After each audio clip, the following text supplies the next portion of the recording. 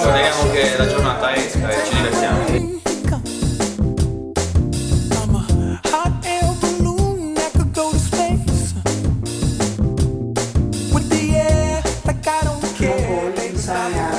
lasciare la mamma e formarsi una mano.